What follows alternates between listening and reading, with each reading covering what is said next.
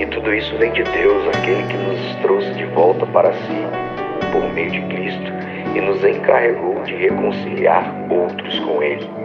Pois em Cristo, Deus estava reconciliando consigo o mundo, não levando mais em conta os pecados das pessoas.